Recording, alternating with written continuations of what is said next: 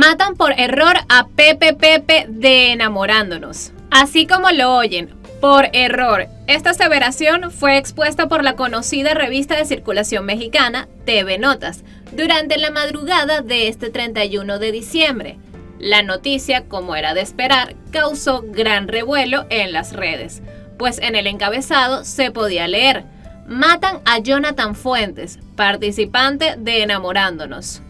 Aparentemente, este hecho se había dado en una conocida zona de México, para ser exactos, en Tultitlán, donde el afamado habría sido emboscado junto con un amigo, quedando ahí al momento de los hechos. No obstante, varios de los seguidores del polémico programa alzaron la voz para desmentir la información, ya que efectivamente habrían terminado con la vida de un participante, pero no con la del reconocido Pepe, quien actualmente se encuentra trabajando en el programa matutino Hoy, pues al parecer hubo una terrible confusión con la identidad del fallecido, ya que los cibernautas coincidieron en la versión de que se trataba de Jonathan Fuentes y no Jonathan Ordóñez, mejor conocido como Pepe Pepe.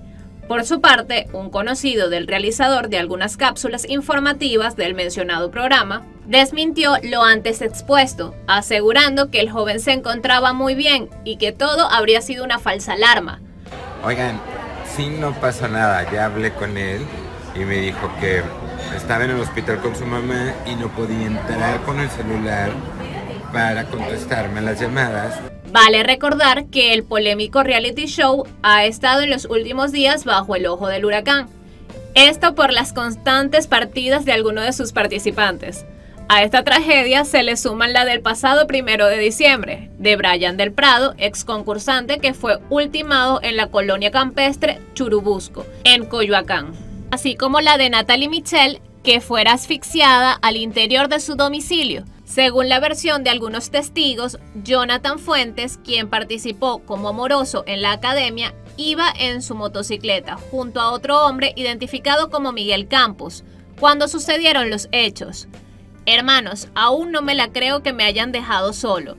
Los voy a extrañar.